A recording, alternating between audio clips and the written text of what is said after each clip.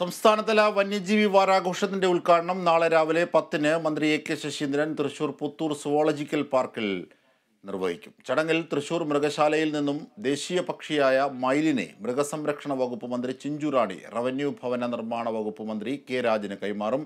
ഇതോടെ തൃശൂർ മൃഗശാലയിൽ നിന്നും പുത്തൂരിലേക്ക് പക്ഷിമൃഗാദികളെ എത്തിക്കുന്നതിന് തുടക്കമാകും. മൃഗങ്ങളെയും പക്ഷികളെയും കൊണ്ടുവരുന്നതിന്റെ അവസാനഘട്ട അവലോകന യോഗം റവന്യൂ വകുപ്പ് മന്ത്രി കെ രാജന്റെ അധ്യക്ഷതയിൽ ചേർന്നു. നാനൂറ്റി എഴുപത്തി ഒൻപത് പക്ഷി മൃഗാദികളെയാണ് പുത്തൂരിലേക്ക് എത്തിക്കുക.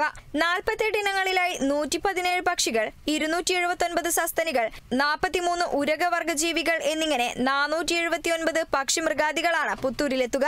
പുത്തൂർ സെന്റർ വികസന പ്രവൃത്തിയുടെ ഒന്നാം ഘട്ട പ്രവർത്തനങ്ങൾക്കായി ഭരണാനുമതി ലഭിച്ചതിന്റെ ഗസറ്റ് വിജ്ഞാപന പകർപ്പ് യോഗത്തിൽ മന്ത്രി കെ രാജൻ ഗ്രാമപഞ്ചായത്ത് പ്രസിഡന്റ് മിനി ഉണ്ണികൃഷ്ണന് കൈമാറി ഉത്സവാഘോഷത്തോടെ വർണാഭമായി തന്നെ ഒരുക്കുന്ന വരവാഘോഷ ക്രമീകരണങ്ങൾ മന്ത്രി വിലയിരുത്തി. പയ്യമ്പള്ളിമൂല കൊങ്ങമ്പറ എന്നിവിടങ്ങളിൽ നിന്നായി നടത്തുന്ന ഘോഷയാത്രകൾ ആഘോഷമാക്കാനും മന്ത്രി അഭിപ്രായപ്പെട്ടു. അവലോകന യോഗത്തിൽ zoological park director R Keerthi Surendran P B തുടങ്ങിയവർ പങ്കെടുത്തു.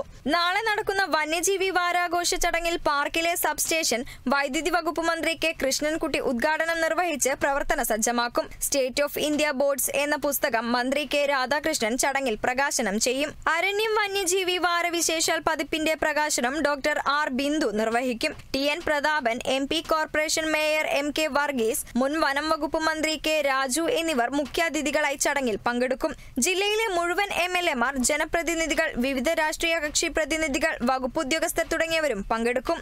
Kerala vision news Thrissur.